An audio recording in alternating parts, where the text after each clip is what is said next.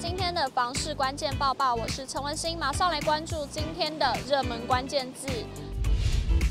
今天的热门关键字：停招，还有少子化。台湾高龄化现象、少子化现象越来越严重，而最明显的是，随着少子化的冲击，多年来许多的大专院校开始停招。而受到高龄化、少子化的影响，房市景象首当其冲。根据统计，二零二二年全台五十一所学校出现一万四千四百九十三个缺额，明显高于二零二一年的两千七百三十二个缺额，创下历史新高。再加上今年度又陆续传出私校停招的消息，加上日前大同技术学院、明道大学及环球科技大学三校又有退场的消息传出，以此证明少子化海啸正在进行中。根据内政部统计，台湾二零二二年总人口数为两千三百二十六万四千六百四十人，连续三年负成长。其中，二零二二年新生儿人数仅十三万八千九百八十六人，创下统计以来的新低。而国家发展委员会的报告也指出，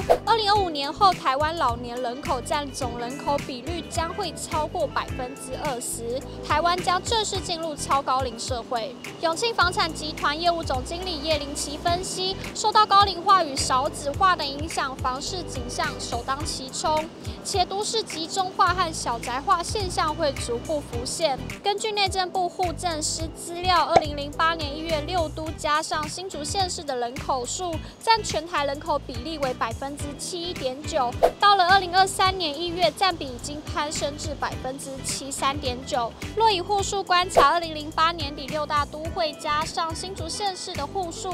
占全台总户数比例为百分之六五点六，到了二零二三年底，占比已经飙高至百分之七五点三。而建物买卖移转栋数数据也呈现类似的现象，六大都会区加上新竹县市的占比，从一九九三年的百分之八一点三，到二零二三年便攀升至百分之八二点八。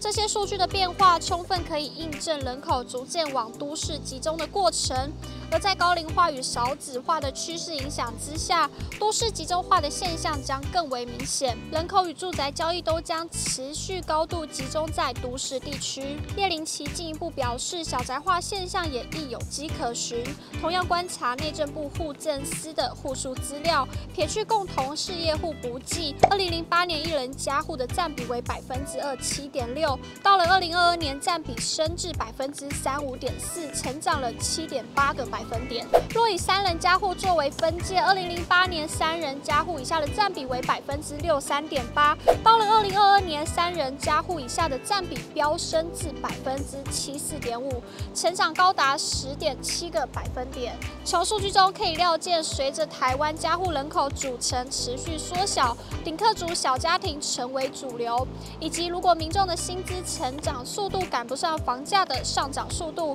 都将使民众转向选。则中低平数、中低总价的小宅产品，小宅产品也将成为未来台湾房市的主力。面对少子化、超高龄化来势汹汹，人口不断的骤降，大家最关心的就是对于房地产的冲击。消基会董事及房委会委员张新明表示，人口负成长、少子化对房价的影响只限于特定区域，推案量规模大的从化区因机能成熟，需要更多的磨合期，所以降价。才可能明显，尤其学生套房首当其冲，很多学校已经陆续出现招生不足或是早列入教育部私校退场名单的窘况。因此，投资此产品的人如果设法脱手，就会让想买房的人有更多的溢价空间。至于抢手的黄金地带，想降价就会有一定的困难度。房市专家十位也曾在好房网 TV 节目十位说指出，少子化并不会影响市中心的房市，但会造成大学商。圈的房价破坏，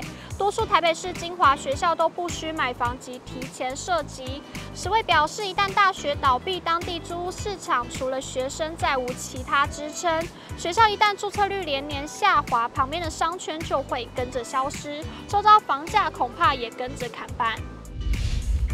今天的精选新闻，首先来看到万大线第二期工程 LG 十一站点的最新动态。针对民众关心台北捷运万大线第二期工程 LG 十一站点位置，经台北市捷运局与新北市捷运局考量，对民众冲击最小化、工程可行性及转乘便利性等因素，车站已设置于金城公园为最佳的方案，更可加强捷运路网的完整性。接着来看到乐天桃园棒球场改善工程的最新动态。桃园市副市长苏俊斌七日下午陪同立法院副院长蔡其昌视察乐天桃园棒球场，并与教育部体育署乐天球团研商球场优化改善专案计划，打造更完善的球场环境，提供球迷更好的观赛品质。蔡启昌表示，总预算出估为一点一亿元，将由中央补助六成，桃市府负担两成，乐天球团负担两成。预计今年冬天进行改善工程，明年新球季启用。